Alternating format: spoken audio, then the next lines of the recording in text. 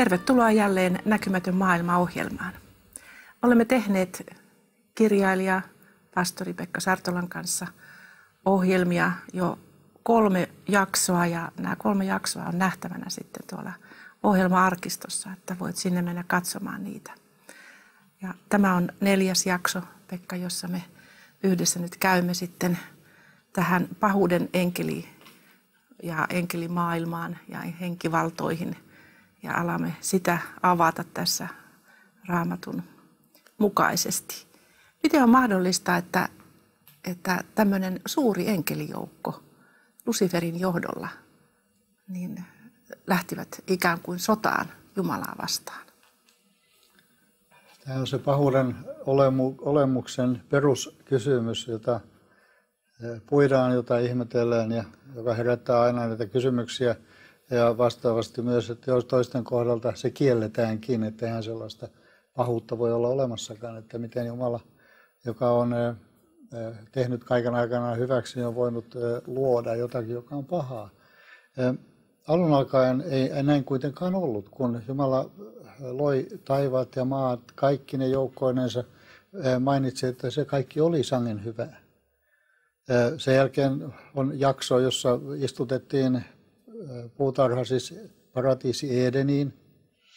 Ja mainitaan, että Hesekielin mukaan, että tuossa tuona ajanjaksona, siis ennen ihmisen luomista, siellä käyskenteli myös korkea kerubi, niminen hahmo, josta mainitaan sen olevan Lucifer, Amoruskon poika ja kaikkea sen tyyppistä. Ja kun luemme Hesekielin lukua 28, eh, jakeita 12 ja 18, ja siinä meille kuvataan tätä lankeemusta ja sen syytä. Jesaja mainitsee myös luvussa 14, että tämä lankeemus tapahtui siksi, että tämä korkea-arvoinen kerubi oli täynnä viisautta ja ylpistyi ja halusi tehdä itsensä korkeimman vertaiseksi. Jesaja 14 ja 14 mainitsee, minä nousen taivaaseen korkeammalle Jumalan tähtiä, minä istuimeni korotan ja istun ilmestysvuorelle pohjoimaiseen, pohjoimaiseen Pohjolaan. Minä nousen pilvien kukkuloilla, teen itseni korkeimman vertaiseksi. Siis luotu teki itsensä Jumal, luojansa vertaiseksi. Hän teki siis syntiä, aivan niin kuin Hesekiel toteaa, että sinä olit nuhteeton äh, vaelluksesta, siis siinä päivästä, jona sinut luotiin, siihen saakka, kunnes sinusta löydettiin vääryys. Suuressa kaupan käynnissä sydämesi tuli täyteen väkivaltaa ja sinä teit syntiä. Tämä oli tämän sielun vihollisen tai siis nykyisen pahuuden synnyn alkuasetelma. Ja se karkoitettiin pois sellaista Jumalan yhteydestä, jossa, sillä, jossa se sai olla vapaasti muiden enkeliryhmien kanssa ilman syntiä. Ja vasta sen jälkeen ihminen luotiin ja tämä synnillinen olento sitten ilmestyi siellä kärmeen muodossa ja houkutteli Eevan mukaan tähän omaan vaelluksensa ja tässä syntisessä maailmassa me nyt sitten eletään. Tämän myöskin pahuuden voiman vaikutuksen alla. Kyllä, tämähän on tosiasia, josta me en pääse yli eikä ympäri siitä hetkestä, kun me alamme tajuta, mikä on oikea ja väärä välinen ero ja, ja ymmärtää sen merkitys, niin meidän on tämä ratkaisumme tehtävä ja se valinta tapahtuu tässä ajassa. Tuossa, jos ajatellaan sitä tilannetta siellä paratiisissa vielä, niin ää, kuinka Jumala niin kuin rohkeni antaa sen valinnan mahdollisuuden niin Eevalle ja Aatamille kuin myöskin sitten enkeleille. Että... Niin, enkelit mainitaan enkeliominaisuuksista, joita käsiteltiin viimeksi. Me huomattiin, että heissä on paljon samanlaista, samankaltaisuutta – kuin on, on myöskin ihmisissä. Toisaalta Jobin kirjassa mainitaan, että enkeleihinkään hän ei luota, hän havaitsee niissäkin vääryyttä. Nyt ollaan, puhutaan siis täydellisyydestä, Jumalan täydellinen vanhuskaus ja pyhyys, jossa ei ole vääryyttä. Ja kun hän luo jonkun, hän ei voi luoda toista täydellistä tai ainakaan halua luoda toista täydellistä, vaan joutuu luomaan epätäydellisen, joka on siis missä tahansa mittapuulla mitattunakin jotain muuta kuin täydellinen. Puuttuu siitä sitä kuinka vähän, se on kuitenkin epätäydellistä. Ja tällainen epätäydellisyys kykenee sitten tekemään myöskin jotakin sellaista, mikä on Jumalan tahdon vastaista. Ja näin tapahtui näiden enkeleiden kohdalla. Ehkä se sai houkuteltua kolmanneksen silloisesta enkelijoukosta mukaansa tai sieluvihollinen ja käyttää näitä, jotka nyt tunnetaan siis pahuuden henkiolentoina sitten omen tarkoitusperinsä koettamalla saattaa niitä, niiden avulla ihmisiä pois Jumalan tahdon tuntemisesta.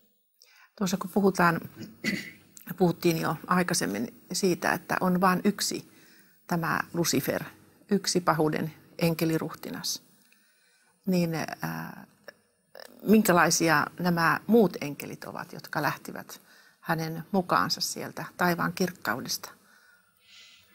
Aivan enkeleistä, niitä mainitaan useakin, mutta todellakin on edelleenkin syytä korostaa, että, että sielun vihollisia on vain yksi kappale olemassa ja se ei kykene olemaan kahdessa paikassa yhtä aikaa samaan aikaan. Ja kun sillä on sitten apunaan joukkonaan demoneita, riivaajia, erilaisia menninkäisiä, maahisia, millä nimellä heitä sitten kutsutaankin, kuitenkin tietyssä mielessä tällaisia pikkupiruja, jos näin voidaan sanoa kansankielellä. Näitä se käyttää apunaan. Ja kun tuossa hyvinkin usein olen siellä hoitotehtävissä saanut kuulla, miten mökin mummo sanoo, että minua tuo saatana kiusasi niin valtavasti viime yönä, niin koetan mieltää tämän asian sillä tavoin, että tuskinpa sielunvihollinen vaivautuu yhden henkilön kohdalla niin suuriin ponnistuksiin, että, että tulisi itse kiusaamaan, kun sillä on 100 miljoonaa, vähintäänkin 100 miljoonaa apuria. Mä ajattelen, että sieluvihollinen on keskittynyt noihin suuriin maailman kabinetteihin, missä maailman suuria kohtaloita ratkaistaan, ohjaa niiden kuninkaiden hallitsijoiden, presidenttien, sotapäällikköjen käyttäytymistä mieluumminkin kuin sitten keskittyisi yhteen ihmiseen, jota varten silloin käytettävinä valtava määrä erilaisia apureita. Minkälaisia ominaisuuksia on tällä Luciferilla, saatanalla? Sillä on tavattoman paljon viisautta, mainitaan raamatussa. Se on äärettömän etevä raamatun Jumalan siis kirjoitetun sanan tuntija. Se tuntee ihmisen, ihmismielen sen syvimpiä sopukoja myöten. Se tuntee ihmisen heikkoudet. Se pystyy aina iskemään siihen kaikkein, ihmisen kaikkein heikompaan kohtaan. Se on täydellisen säälimätön, täydellisen piittaamaton mistään inhimillisyydestä – se haluaa aina lisää ja lisää valtaa, jotta se voisi toteuttaa omaa tahtoaan, ja sen tahto on viedä mukanaan aikanaan kadotuksen mahdollisimman suuri joukko ihmisiä. Siis koettaa estää mahdollisimman paljon ihmisiä tutustumasta Jumalan tahtoon ja ennen kaikkea kääntymästä hänen tahtoonsa. Tänä päivänä paholainen paljon vaikuttaa just lasten ja nuorten elämään ja ja yleensäkin, kun ihmiset ovat kiinnostuneet näistä näkymättömästä maailmasta, niin, niin he helposti lähtevät etsimään ikään kuin tietä sinne sieltä väärästä ovesta. Ja, ja tällä tavalla saattavat sortua Ageen ja, ja muihin tämmöisiin vakaviin uskomuksiin, jotka sitten tuhoavat heitä. Tämä on valitettavan totta. Se on jopa hämmästyttävän määrin lisääntynyt viime vuosikymmenen aikana. Ja mikä huolestuttavinta juuri niin kuin totesit Mirja, niin mitä nuoremmat ja nuoremmat ikäpolvet jo pääsevät käsiksi tällaisiin epäterveisiin ilmiöihin. En nyt mitenkään halua moittia Rowlingsia, vaan totean kuitenkin, että Harry Potterismi on vain eräs esimerkki tällaisesta salakavalasta ja tällaista hyvin harmittomalta näyttävästä noituuden ihannoinnista. Sehän ihannoidaan noituutta, joka kuuluu selkeästi raamatussa asioihin, josta, jotka ovat Jumalan tuomion alaisia. Ne eivät kuulu missään nimessä Jumalan tahdon välikappaleiksi sillä tavalla, että ihminen sitä kautta saavuttaisi jotakin, jotakin tällaista Jumalalle kelpaavaa ominaisuutta tai vaellustaan olisi sen kaltainen. Tämä populaarikulttuuri tällä osin ruokkii myös tällaisia ilmiöitä, kun ajatellaan tietynlaisia tällaisten musta metalliyhtiöiden nimityksiä. Siellähän on kaikkea apokalyptia, Black Sabbathia ja siellä on Iron Maidia ja siellä on mitä kaikkia Judas Price ja tällaisia erikoisia nimiä, jossa tavallaan on, käytetään raamattua sen, ja otetaan siitä, tuodaan se esille kielteisessä sävyssä ja valossa. Moottoripyöräjengejä, jotka ovat rikollisuus, rikollisjengejä, siellä on helvetin enkeleitä ja siellä on tämän tyyppisiä. Siis tällainen kaikki kielteinen väkivalta, se luo semmoista kulttuuria, johon sitten myöskin tämä netti, viihdeteollisuus painostaa hyvin paljon. Esimerkiksi tällaiset elokuvat kuin Manaaja, joka on vuosikymmeniä aina roikkuu siellä elokuva- tai katsojien, katsottujen kärjessä, jotka ihanoi, ihanoi selkeästi sielunvihollista ja sen toimintaa. Ne ei voi olla vaikuttamatta tällaisella pitkässä, tällaisessa pitkässä juoksussa ihmistä ajattelu- ja käyttäytymismalliin. Ja kun ihmisillä on näitä portteja, millä pääsee tavallaan ihmisen sisimpään, niin kuulo ja korva ja silmä, silmäportit, ja jos niitä käyttää jatkuvasti sen, että katsoo tämä tai niin kuin pahuuden voimien maailmaa ja muuta, niin se alkaa pikkuhiljaa vaikuttaa ihmisen mielessä ja ajattelussa, että meidän uskovenkien on todella tärkeää sitä valvoa, että mitä me katsomme ja mitä me kuuntelemme. Tämä on valitettavan totta. Tämä näköaisti on ehkä seluvihollisen kaikkein eniten käyttämä väline, jota kautta se pyrkii vaikuttamaan ja, ja vaikuttaa ihmisten käyttäytymismalleihin. Sieltä tulee väkivaltaviihdettä, pornoa, sieltä tulee kaikkea mahdollista. Nettihän on tulvillaan tällaista. Se on sikäli äh, epäkiitollinen isäntä, jos se saa otteen, että se pystyy, pystyy pitämään ihmisiä tavallaan koukussa kaikkeen tällaiseen. Ja kun vastapainoa sitten on vain harvoja tällaisia kanavia, mistä saa oikeaa tietoa, kuten TV7 muun muassa, niin ihminen valitsee näiden kahden välillä. Sillä on ylivertainen tarjonta kaikkea väkivaltaa, pornoa ja rikollisuutta ja huumeriippuvuutta ja mitä kaikkea sieltä sitten löytyykään. Ja joka jollain tavalla kiehtoo ihmistä siinä esitysmuodossaan enempi kuin sitten taas Jumalan tahdon ilmaiseminen toista kautta. Vaikka hyvää, hyvää totta ja puhdasta meidän pitäisi hmm. harrastaa, sanotaan raamatussakin. Meillä on siellä esimerkkinä tämä Saulia Endorin noitavaimon tarina täällä raamatussa. Tämä on eräs tällaisia tunnetumpia raamatun kertomuksia, jota on paljon kritisoitu ja mietitty, kuka itse asiassa ilmestyi Saulille tai tälle noitovaimolle. Ja kun Raamattu toisaalta kieltää että, ja tuomitsee henkien kuolleiden manamiset ja niiden nostattajat, se antaa meidän kuitenkin samalla ymmärtää, että se on mahdollista. On siis mahdollista nostattaa esille tällä tavoin manamalla eri loitsujen kautta jonkun kuolleen henki, ainakin kuviteltu henki jotka ovat siis, josta näistä kuolemaan liittyvistä asioista käsittelemään siinä seuraavassa jaksossa, niin eh, nyt eh, on esitetty kysymys, kuka todella ilmestyi Saulille. Hän oli sodassa tuolloin filistealaisia vastaan ja siellä Kilpoan vuoden juurella ja totesi olevansa tappiolla. Hän tiesi, että valtava filistealaisjoukko tulee ilman muuta eh, päihittämään Hänellä ei ollut, ollut voimaa ja hän tiesi, että Herran henki oli väistynyt hänestä. Hän oli tehnyt syntiä ja Herra otti häneltä henkensä pois ja ilmoitti, että, että hän ei ole enää Jumalan johdatuksessa.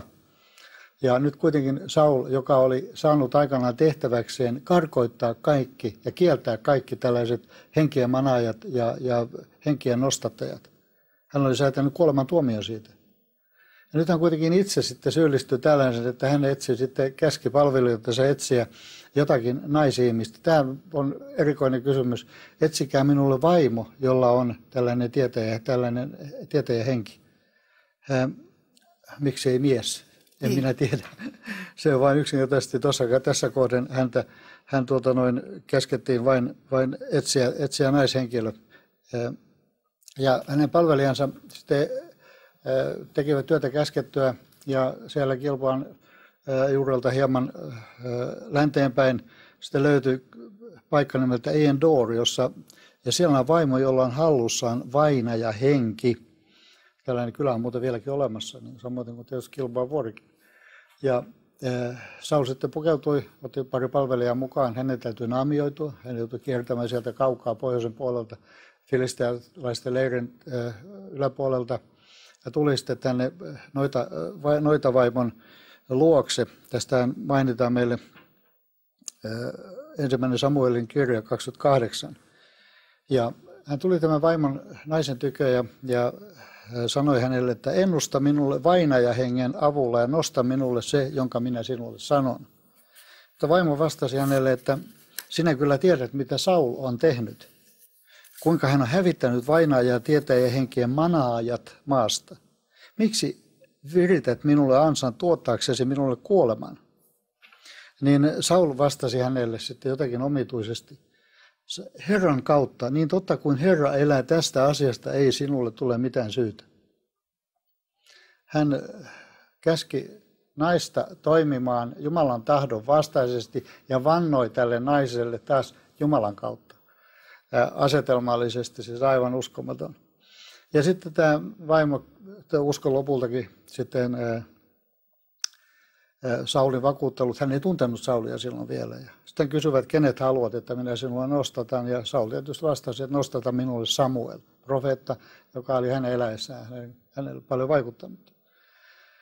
Ja sitten tämä kertomus jatkuu edelleen, että tässä todetaan, että Samuelin hahmo nousi todellakin noita vaimon eteen. Ja Saul ei nähnyt tätä hahmoa, koska hän joutui, vaimo joutui kuvailemaan tätä hahmoa.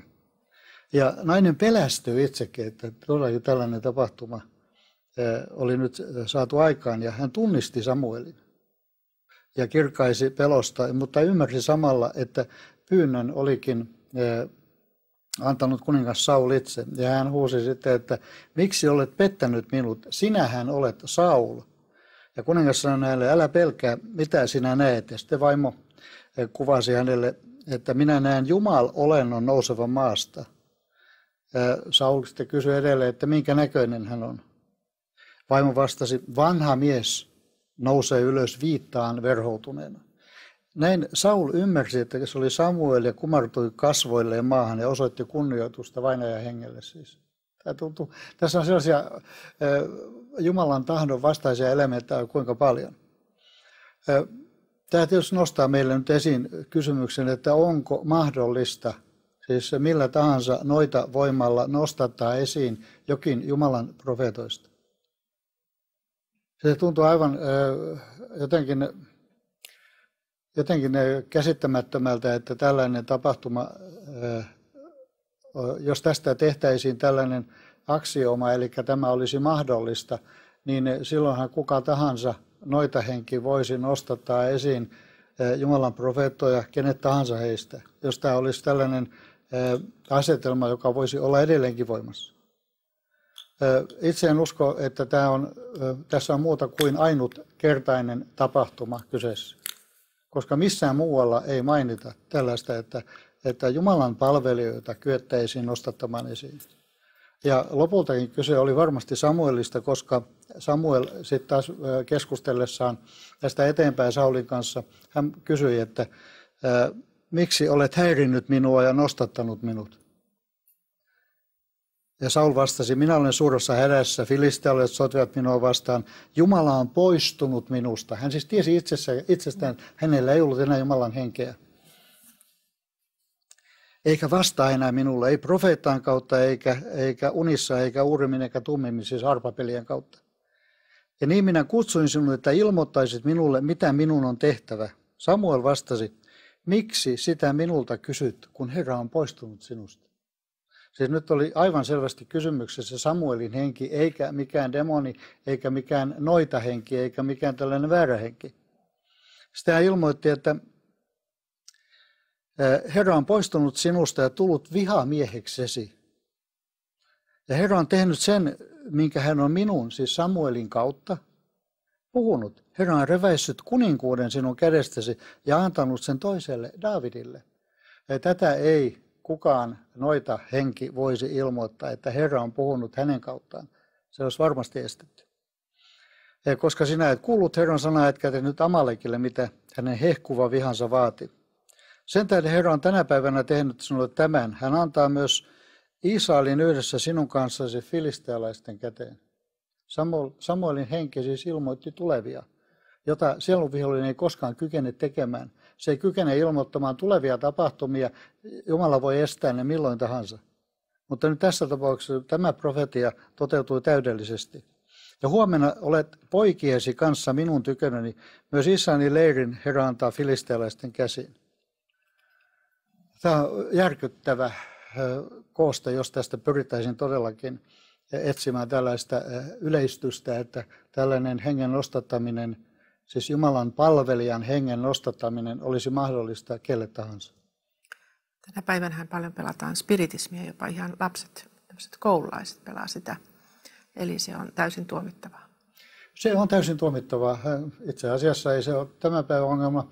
Kun muistelen omaa lapsuutta, niin tuossa alle teini-ikäisenä pelasin itsekin spiritismiä.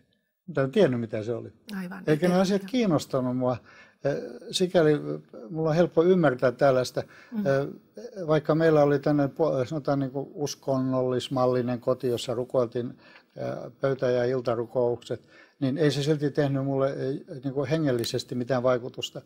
Mä muistan erikoisen hyvin, kun me tätä peliä pelattiin ja, ja kysyttiin, kuka tätä peliä johtaa, niin vastaus tuli aina Piru. Että siinä mielessä tämä oli kyllä, kyllä tota aika, aika, aika erikoinen tapaus. Mä ymmärrän kyllä siten, että lapset, jotka ei ole orientoituneet näihin asioihin, niin eivät osaa erottaa Heille vaan se on jotakin sellaista leikkiä. Niin se on peli niin kuin joku Se on muukin. peli niin kuin mikä tahansa muukin. Tällä hetkellä vaan näitä, tämän tyyppisiä pelejä mm. on tarjolla jo paljon nuoremmille ja paljon voimakkaimmin, jotka edelleenkin samalla tavoin sitten tuovat tätä kielteistä sieluvihollisen valtakuntaa esille. Kyllä, ja joudutaan niin kuin sen valtaan sitten. Voiko, voiko uskovassa olla riivaaja? Tässähän niin kuin esimerkiksi Saulista sanottiin, että, että Herran henki on poistunut sinusta ja sinusta on tullut Jumalan vihaaja, mutta että voiko, voiko olla uskovassa? Tämä kysymys vihaaja. on hyvin ahdistava. Siis niin. Sitä sanotaan ahdistava siksi mielessä, että sitä, sitä ihmiset miettii tavattoman paljon. Ja tämä tietysti voidaan ajatella kolmesta eri lähtökohdasta. Onko uskova fyysisesti riivaajien painostama? Onko hän sisäisesti riivaajien ahdistama? Tai asuuko hänessä pysyvästi riivaaja? me emme tästä vaellustamme täällä ajassa selviä laisinkaan, etteikö sielun vihollinen, joka kiertelee ympärinsä kuin kiljuva jalopeura, etteikö se kykenisi aina vaikuttamaan meihin tavalla tai toisella. Mm. Heikkona hetkenä se kykenee saamaan sielun uskovankin lankeamaan. Se on täysin mahdollista. Ei meistä tule syntiin kykenemättömiä tällä ajassa. Se on aivan toinen asia kuin se, että sielun vihollinen asuisi pysyvästi meissä. Aivan. Se voi olla pysyväisesti jossain, eh, tai sanoa väliaikaisesti jossain ihmisessä, esimerkiksi alkoholi, tupakka, tällaisten kielteisten asioiden kanssa. Eh, silti ihminen on eh, uskossa Jeesuksen oma. Siis nyt lopultakin kysymys on siitä, asuuko uskovassa ihmisessä, voiko hänessä asua riivaaja samanaikaisesti kuin pyhä henki. Tämä on tämän koko asetelman peruskysymys. Ei se, että meitä painostetaan ja, ja me ollaan tietyllä tavalla ahdistettu ja voimattomia väline, rukouselämä maistuu ja kaikkea tällaista. Mutta onko tämä eh, pysyvä tilanne? Jeesus itse vastasi tähän mun mielestä tai kaikkein parhaiten, kun hän eh, ajoi ulos eh, mykän ja kuuron hengen erästä ihmisestä. Ja farisukset sanovat, että Beelzebulin voimalla hän ajaa ulos Beelzebulin aiheuttamia sairauksia. Jeesus vastasi, että jos saatana riitautuu itsensä kanssa, niin kuinka se voi pysyä pystyssä? Siis vastaus on toisaalta myöskin Paavalin ohjeistus, ettekö tiedä, että te olette Jumalan temppeli, että Jumalan henki asuu teissä. Mä puhun korintolaisille, mm. ilmeisesti ei tiennyt sitä kaikki. Siis uskovassa, kun hän tulee uskoon, hänen astuu asumaan Jumalan pyhä henki, joka ottaa hänessä pysyvän asuinsijan niin kauan, kun ihminen pysyy uskossa. Ja samassa rakennuksessa ei voi asua pysyvästi sekä sielun vihollinen riivaajiensa voimalla että Jumalan henki. Se on mahdotonta, koska Jumalan henki on voimakkaan. Nyt täytyy erottaa nämä asiat toisista. Mä tiedän jopa pastoreitakin, jotka väittää, että uskovaisesta on ajettu ulos riivaajia. Siis riivaajien vaikutuksen alla oleminen ei ole sama kuin olla riivattu sillä tavalla, että se olisi pysyvää olema, ole, olemassaoloa. Se on mahdoton yhtälö, että Jumala, joka on asettanut meidät, meille henkensä asumaan, antanut sen sineetiksi ja vakuudeksi meidän sydämemme, voisi sallia, että heikompi, siis sieluvihollinen, voisi samalla tuoda meidän sisimpäämme asumaan pysyvästi riivaajan. Se on yhtälönä mahdoton. Tästä paljon puhutaan tänä päivänä myöskin ja, ja, ja semmoinen aihe, josta varmasti keskustelua riittää ja, ja monia, monia askarruttaa nämä asiat. Mutta me päätämme tämän jakson tähän ja sitten meillä on vielä yksi jakso edessä ja palaamme siihen, mitä tapahtuu kuolemassa, kuoleman jälkeen ja, ja minkälainen osa uskovalla on ruvattu raamatussa.